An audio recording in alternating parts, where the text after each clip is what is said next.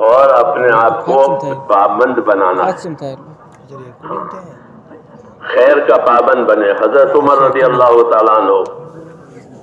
जो लोग अल्लाह के रास्ते में जाते थे उनसे ये फरमाते थे कि अपने आप को खैर के कामों का आदि बनाओ। उनके जिम्मेदार से फरमाया जिम्मेदार साद इब्न बेवक्कास थे। तो साद इब्न बेवक्कास से फरमाया कि तुम्हारे साथ एक मुजमा जा रहा है। इनको खैर के कामों का आदि बनाओ। हाँ ये बड़ी बड़ी शहादत की बात है कि आदमी खैर के कामों का आदि बनावे। जैसे बड़ी तबाही और बर्बादी की बात है कि आदमी बुरी चीज़ों का आदि बन जावे। तो ये हमारी हिदायतें हैं ये, कि हम अपने आप को खैर के कामों का आदि बनाएँ।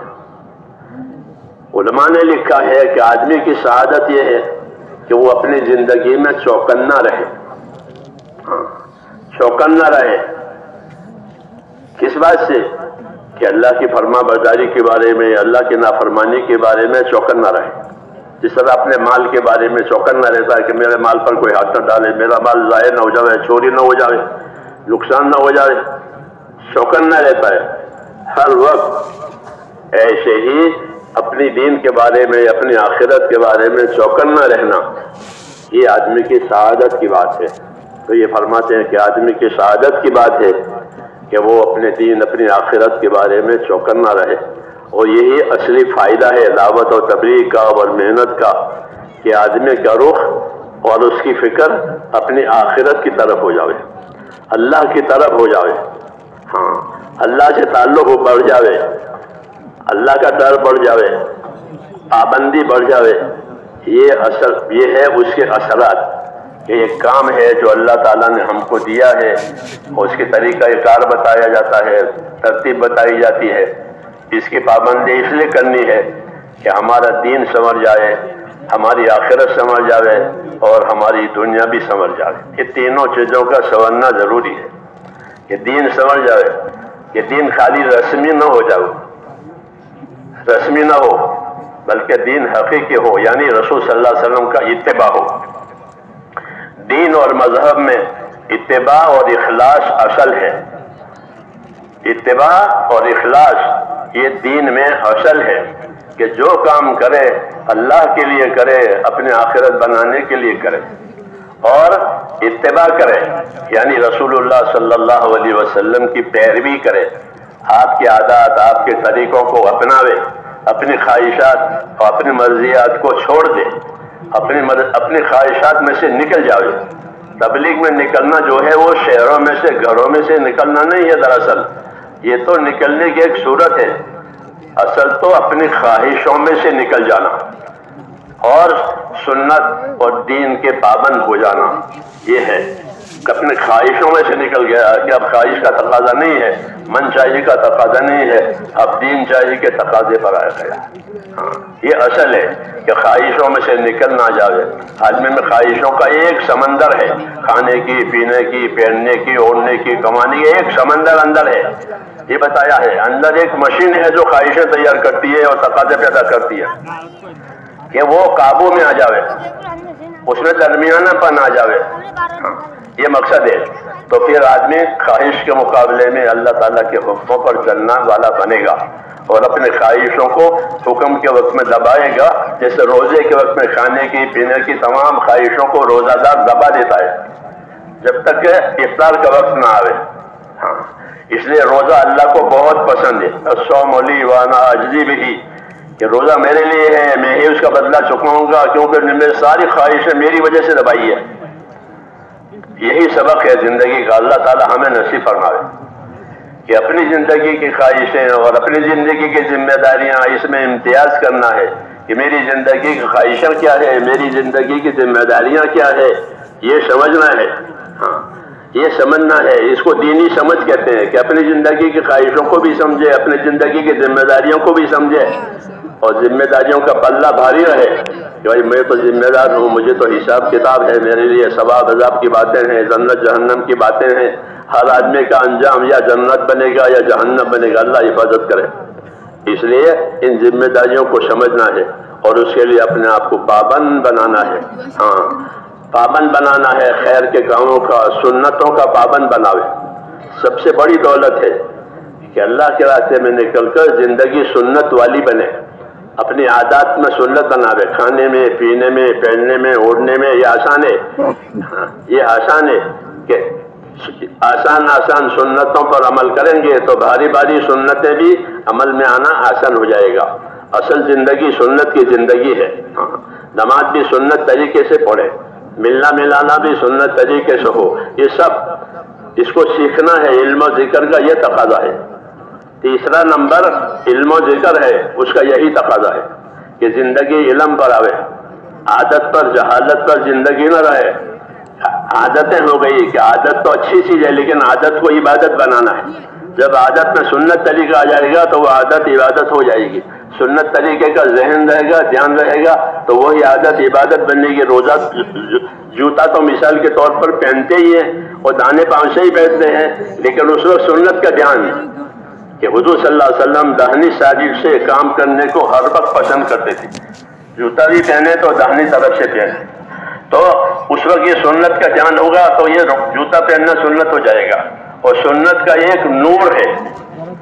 सुन्नत जैसे कुरान का एक नूर है, सुन्नत का एक नूर है। ये दो नूर दिए गए हैं कि सुन्नत का नूर, कि सुन्नत का नूर ज़िंदगी में आता है तो ज़िंदगी को सही ज़िंदगी सही राह पर जाती है। मौलाना यसू साहब फरमाते थे कि हर गाड़ी अपनी रोशनी में चलती है, अपनी लाइट में चलती है, ऐसा हर मुसलमान अपनी हिदायत की रोशनी में चलेगा। जितने उसकी ज़िंदगी में हिदायत की रोशनी होगी, सुन्नत की रोशनी होगी, इतनी उसकी ज़िंदगी सही चल सकेगी। इसलिए अपनी ज़िंदगी को रसूल सल्लल्लाहु अलैहि वसल्लम की सुन्नतों पर और आपके तरीक़ों पर लाना है। याद नहीं है तो याद करना है, मालूम नहीं है तो पूछना है कि भाई क्या सुन्नत तरीका है, क्या सुन्नत तरीका है। याद नहीं है, याद करें। हाँ। मालूम नहीं है, पूछें। इससे ज़िंदगी बनती है। अपने आप को अपनी हालत पर छोड़ देने से आदमी बिगड़ जाता है। ज़मीन को अपनी हालत पर छोड़ दो वो बिगड़ जाएगी। ऐसे अपने आप को अपनी हालत पर छोड़ दिया तो फिर हालत बिगड़ जाएगी। इसलिए अपने आप को संभालना है, आखिरत बनाने के लिए संभालना है। हाँ। वल तंजुर नफ्सुमा कदमत लगत ये बता के वल तंजुर नफ्सुमा कदमत लगत हर आदमी सोचा करे कि मैंने आने वाली कल के लिए क्या तैयारी की है?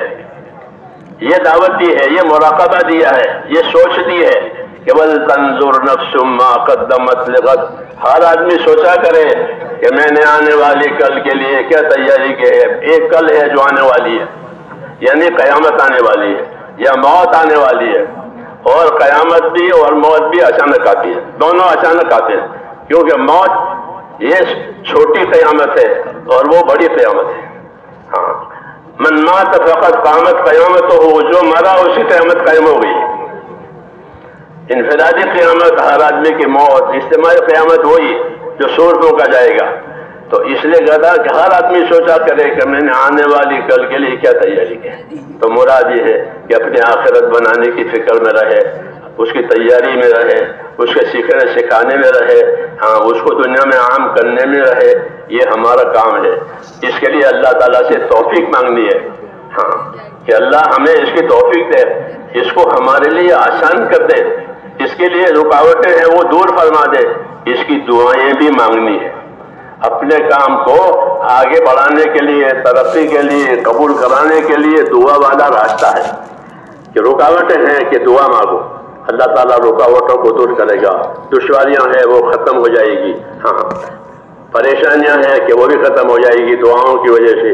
अपने आप को काम का भी आदि बनाना है और दुआ का भी आदि बनाना है। कि कोई भी मसला आवे तो अंदर से दुआ निकले। कोई भी मसला आवे तो अंदर से दुआ अल्लाह ने हुक्म दिया है कि मुझसे दुआ मांगो, मैं कबूल करूँगा।